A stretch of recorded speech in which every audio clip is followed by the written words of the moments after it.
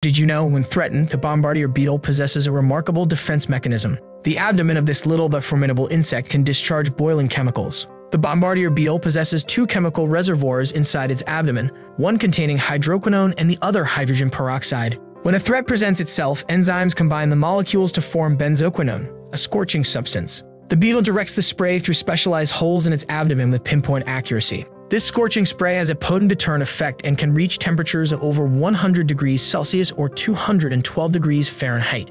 Remember a bombardier beetle's amazing capacity to protect itself with scalding accuracy the next time you see one. So